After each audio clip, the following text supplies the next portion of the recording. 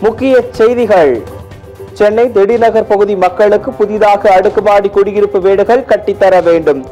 கடந்த நாற்பது ஆண்டுகளாக எந்தவித அடிப்படை வசதியுமின்றி தவித்து வருவதாக தேமுதிக தலைவர் கேப்டன் விஜயகாந்த் வேதனை.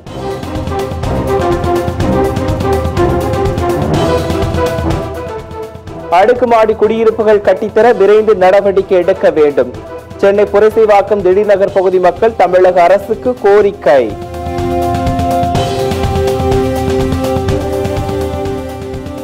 கனவுகளை நிறைவேற்ற ஒரு பொழுதும் மொழி தடையாக இருக்கக்கூடாது. சிஏபிஎஃப் தேர்வு பதிமூன்று மொழிகளில் நடைபெறும் என்ற அறிவிப்பு தொடர்பாக பிரதமர் மோடி ட்வீட். திருப்பூர் நொய்யல் ஆற்றில் மூழ்கி பள்ளி மாணவர்கள் இரண்டு பேர் பரிதாபமாக உயிரிழப்பு. நண்பர்களுடன் குளிக்கச் சென்றவர்களுக்கு நிகழ்ந்த சோக முடிவு.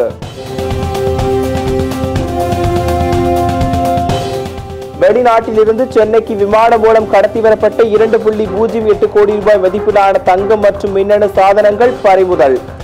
சென்னையைச் சேர்ந்த நான்கு பேரை கைது செய்து சுங்கத்துறை அதிகாரிகள் விசாரணை.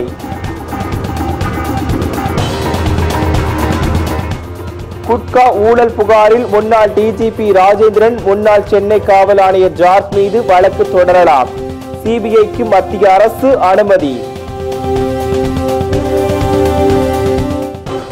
ஊத்தங்கரை அருகே பெற்ற மகனை ஆணவ கொலை செய்த கொடூர தந்தை கைது. வேறு ஜாதி பெண்ணை காதலித்து திருமணம் செய்ததால் வெறிச்செயல்.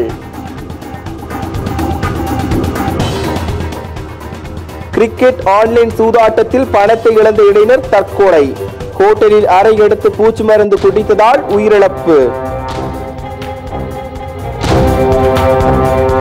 தமிழகத்தில் அதிகபட்ச வெப்பநிலை இயல்பு விட நான்கு டிகிரி செல்சியஸ் வரை அதிகரிக்கும்.